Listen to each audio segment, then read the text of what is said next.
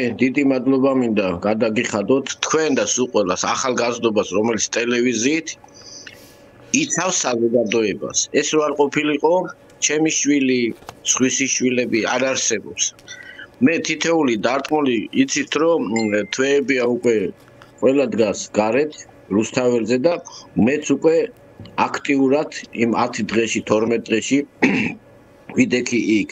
ამიტომ დღეს კოტეზე საუბარი მიჭირს, მაგრამ მე უფრო მიჭირს კიდევ ერთობაში საუბარი იმ ბავშვებზე, რომლებიც აი ესე სამშობლოს სიყვარულისთვის არიან სუყელანი დასჭი.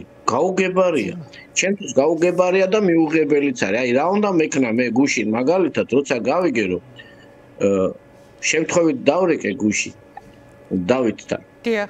მეორე შვილთან, მეორე შვილთან და მითხრა რომ мама უკოტეს ვეძებთო. აბა როგორ ეძებდა? გავიდა ესე იგი 2 საათ ნახევარი ბავშვი ვერ ვიპოვნეთ. წარმოიდგინეთ ახლა რა მდგომარეობაშია მთელი ოჯახი და ამ დროს სხვათა შორის უნდა გითხრათ არ არ განწყობილი ესე იგი როგორ გითხრათ ანტაგონისტურად ამ ჩინიანი ხალხზე ვისაც სამართალ დამცავი უწოდო თუ არა სამართალ დამცავი და მთელი ჩემი ცხოვრება და ჩემი ბიჭებიც ორივე განურჩევლად იმისა საზოგადოების რომელი ფენიდან არის ავანტყოფი განურჩევლად იმისა ყოველას ჩვენ კურნალობთ. და დღესაც და ხვალაც კოტერო გამოვა არავით არის გაღიზიანება არ იქნება პაციენტი პაციენტია და რომ მოვა ჩვენ არ გავარჩევთ.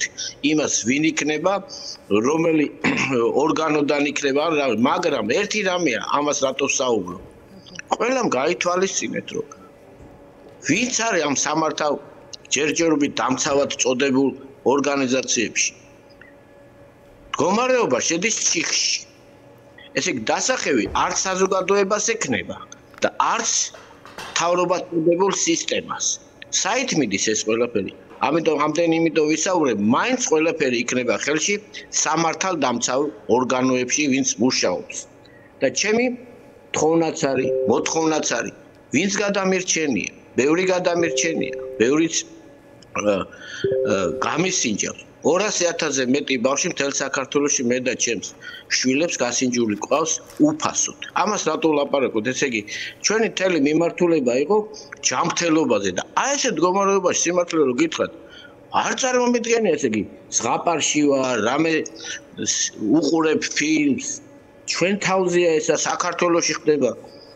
აქ უკან დახევა არ არ იქნება. საზოგადოება ნელ-ნელა ემატება, წელად შართული ვიყავი და უყურებდი. რუსთაველზე დღეს იმდენი ხალხია, საერთოდ არ ყოფილა ამ დღეებში. მე რო ჩამოვალ რა. ორ დღეში ბრუნდები მე და როგორც ვიდექი რუსთაველზე ისევე ისე დავდგები. ამიტომ ეს მდგომარეობა შედის ჩიხში თუ მაღალი თანამდებობის მაღალი თანამდებობის ჩინიანმა არ ვიცი როგორ დაუძახო, ვისაც ეკუთნის ეს, უნდა ადგეს იმ მაგიდასთან საბჭორო ქვია და ზიან 5-10 რჩეველთა საბჭო. უნდა თქვა რომ ეს არის გაუსაკეთებელი. რატო? იმიტომ რომ მათი შვილებიც დგას ჩვენ გვერდზე. მე Facebook-ზე რამდენჯერმე ღიად ჩავთე რომ სადახართ, რატო მისვრით? ან რა ხდება?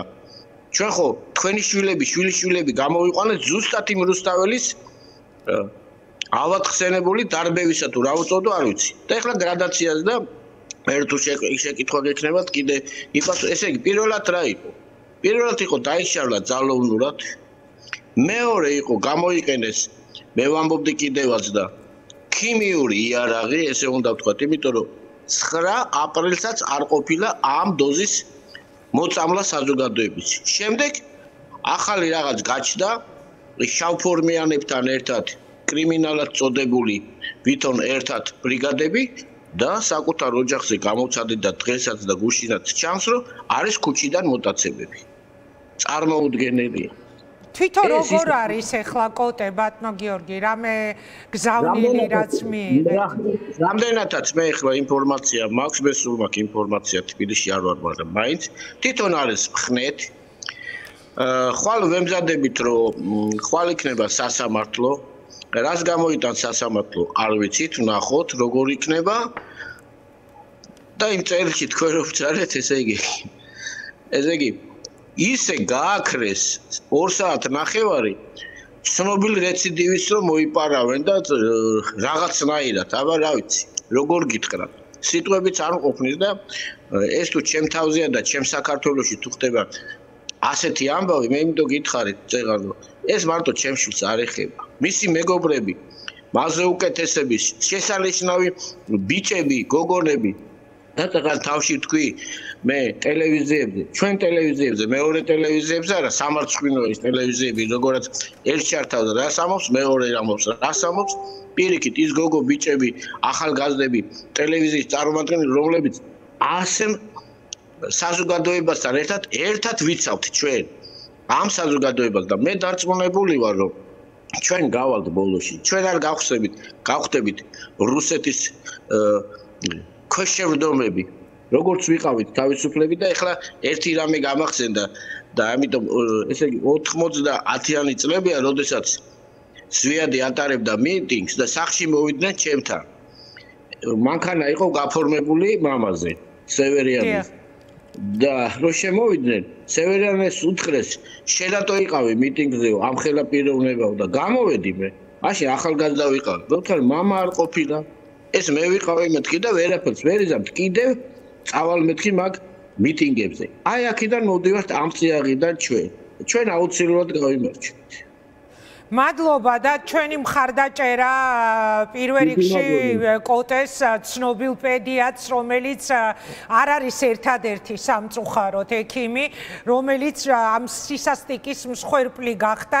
კარგად ბრძანდებოდეთ ის იყო გიორგი ჩახუნაშვილი პედიატრ კოტე ჩახუნაშვილის მამა ყველგან ჩემგანაც დიდი ესე იგი რა ვიცი მე გძნობა მეთქია იმ სულ ყველა მადლობა აქვე